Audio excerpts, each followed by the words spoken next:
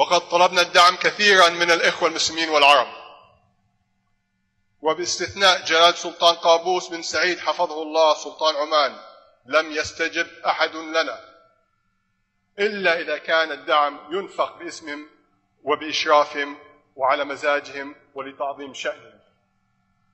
وهذا مستحيل عمليا ومبدئيا مرفوض أصلا لأنه في الحقيقة ليس دعم للقدس وإنما محاولة استعمال القدس للكسب السياسي أو الفئوي أو الحزبي أو المذهبي أو الشخصي.